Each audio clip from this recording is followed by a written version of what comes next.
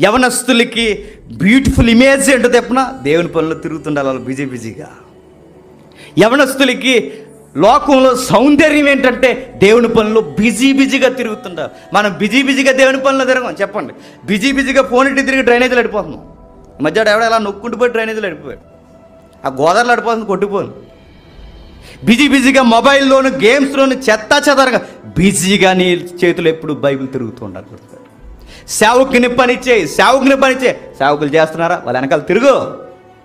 వాళ్ళతో పాటు సేవ చేయి వాళ్ళతో పాటు పరిచయం చేయి వాళ్ళతో పాటు ఎల్లో. ఆ ఫోన్తో చచ్చిపోకరా దరిద్రుడు అని తిట్టాలి మనం గుర్తుపెట్టుకో.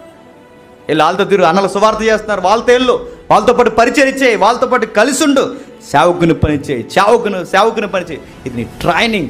రేపొద్దు నువ్వు అందుకునే బహుమానానికి ఒక రైట్ వే.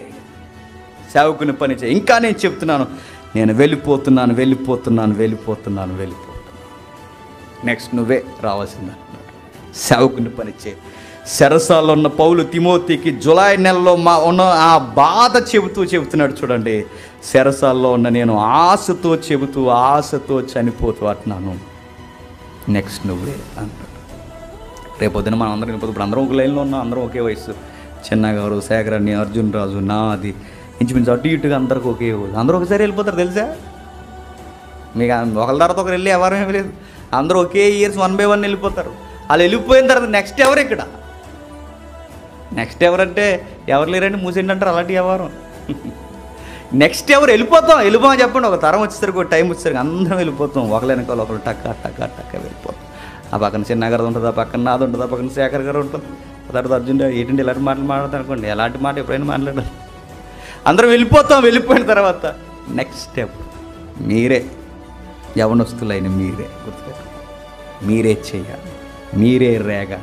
ఉన్నంత కాలం మీరు వచ్చిన తర్వాత శాఖర్ అనేలా చెప్పాలి జేమ్స్ అనేలా చెప్పాలి ఇక్కడ. వాళ్ళకలా నేను కూడా దేవుని కోసం బతకాలి. వాళ్ళ నేను కూడా అందరినీ రేపాలి నేర్చుకోవాలి బైబిల్ నేర్చుకోవాలి బతకాలి. వాళ్ళు వెళ్ళిపోయిన సంఘం పర్లేదు. ఇక్కడ ఉన్నాడండి చెప్పుకోవాలి. ఆ పెద్దోళ్ళు వెళ్ళిపోయి నేను నడిపించగలడని చెప్పుకోవాలి. అలా చెప్పుకునే ఎదగండి ఒక తిమోతిలా తయారవ్వండి. ఎలా ఉంటాయండి ఆ పత్రికలు చదువుతాం.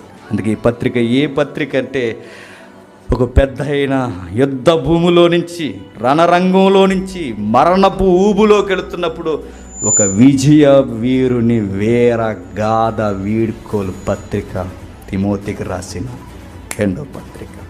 ఒకవేళ అలాంటి వాళ్ళు లేకపోతే ఏమవుద్దంటే ఏలి కొడుకులు మనకు తెలుసు. సోమరు బాధ్యత లేని వాళ్ళిరువురికి సేవ అప్పగిస్తే ఏం చేశారయ్యంటే అంటే ఒళ్ళు కొవ్వెక్కిపోయి తిరిగారని రాయబడింది వాళ్ళ ఒళ్ళు కొవ్వెక్కిపోతే ఏం చేశారంటే సంధాలు దోసేశారు అధికారాన్ని దోసేశారు నెక్స్ట్ భవిష్యత్తు లేకుండా దోసేశారు. చివరికి వాళ్ళు ఏం చేశారంటే వాళ్ళు నాశనం అయిపోయి చివరికి దేవుని సన్నిధి కూడా ఇచ్చేశారు. వాళ్ళు నాశనం అవడమే కాదు. అన్యజనులు దేవుని మందస్థాన్ని తీసుకెళ్ళిపోయేలా చేశారు. అంటే చివరికి మనం పాడవడమే కాదు దేవుని సన్నిధిని కూడా చెప్పాలి. పాడు చేస్తాం. మరి ఎవరు వచ్చారయ్యా అంటే ఏ సంబంధం లేని ఏలీగు చుట్టం కానీ సమయాలు వస్తే కానీ మరలా అక్కడ జ్యోతి వెలగలేదు చూడండి. ఏ తరంలో అయినా మీరు చూడండి వెలిగేవాడు నడిపించేవాడు బతికేవాడు బతికేవాడు నలుగురిని వెలిగిస్తూ బతికించాడు. అందుకే మనం నేర్చుకోవాల్సింది ఈ జులై నెలలో పౌలు గారి ఆక్రందన మనకు వినబడాలి. మనకు వినబడాల్సింది గోదావరి పొంగిపోయిందా వర్షాలు ఎక్కువ వస్తున్నాయా సుడిగుండం వాయుగుండం అగ్నిగుండం ఈ గుండం కాదు మనకు కావాల్సింది.